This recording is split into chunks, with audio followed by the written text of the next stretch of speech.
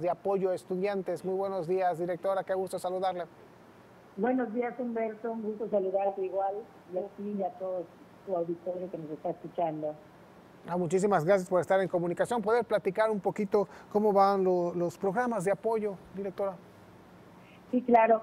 Tenemos ya para iniciar este curso escolar eh, la convocatoria de becas que va a salir, becas económicas que sale la próxima semana y pues sí comentarle a, todos los que nos escuchan que aunque desde el ayuntamiento el tema educativo no sería algo que realmente compete al municipio, siempre el alcalde Hernán Barrera pues muy pendiente, hemos estado pues tratando de aportar este granito de arena y ahora pues con estas becas que aumentan este ciclo escolar a 4.171. Vamos a tener 1.500 becas más para ofrecer en este ciclo escolar.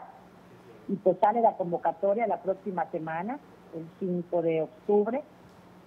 Eh, que estén muy pendientes, por favor, de las redes del alcalde arroba Renan Barreres, del Ayuntamiento de Mérida, pues para ver todos los requisitos y todas las sedes a donde vamos a estar recibiendo toda la documentación.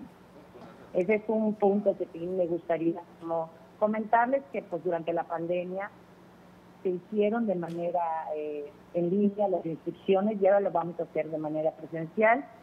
Pues también acercándonos a toda la ciudadanía, se van a abrir tres sedes en el sur, norte, eh, oriente y poniente para que puedan acudir de manera más accesible a llevar toda su documentación.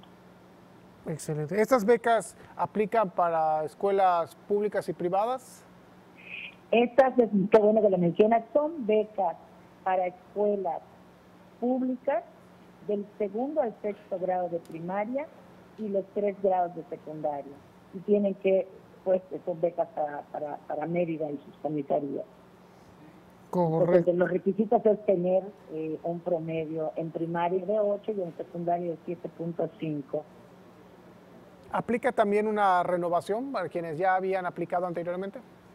Sí, por supuesto. Esta es una beca que se da por tres años y vamos a tener un número importante, un poquito más de 1.500 becas que se van a renovar, que ya están en proceso.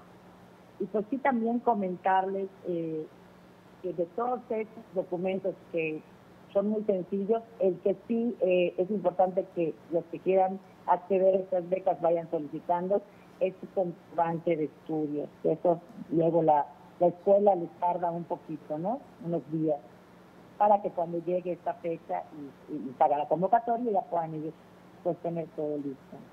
Correcto. Un programa muy interesante que traen por allá es este computadora en casa. ¿Cómo van?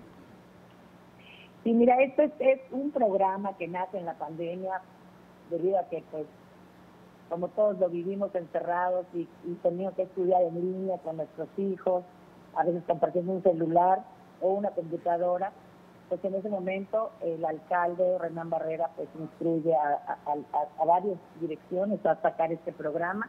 Es un programa muy interesante, ya que la computadora no es gratis. La computadora tiene un subsidio del 40% por parte del ayuntamiento y el 60% se da un crédito a pagar a 12 meses. Entonces realmente quedan unas eh, mensualidades muy accesibles, aproximadamente de 700 pesos, y pues es un apoyo muy grande que se está dando pues, a las familias y también para tratar de subsanar ese, ese, ese recado escolar que estamos teniendo, tanto pues teniendo un aparato más, una herramienta para poder estudiar y que los podamos salir adelante más fácilmente con las tareas y todo lo que conlleva los estudios académicos. Excelente, pues continúan los programas, continúan los apoyos. Director, ¿algo más que quisiera platicar? Pues realmente que estén muy pendientes de las redes del alcalde, arroba Renan Barrera, y del ayuntamiento para las dos convocatorias que van a salir, tanto de becas como de eh, computadora en casa, y pues trabajando para la ciudadanía a través del ayuntamiento. Muchísimas gracias. Muchísimas gracias a usted por la información. Le enviamos un saludo. Igualmente, hasta luego. Hasta luego. Bueno, la dermatóloga pediatra Dinora Chávez nos platicó de un